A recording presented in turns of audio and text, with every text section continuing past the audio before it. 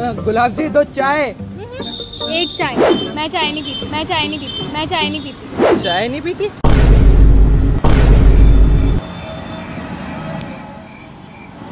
भाई मतलब वो मतलब वो बंदी चाय नहीं पीती। वो भाई ऐसी बंदी को हाँ मत करियो तेरी ज़िंदगी बर्बाद हो जाएगी। बिना चाय के अपनी ज़िंदगी एक बार सोच के देख। अरे भाई माफ़ कर। बिना चाय के अपनी ज़िंदगी इमेजिन करना भी है ना बहुत मुश्किल काम है मेरे लिए।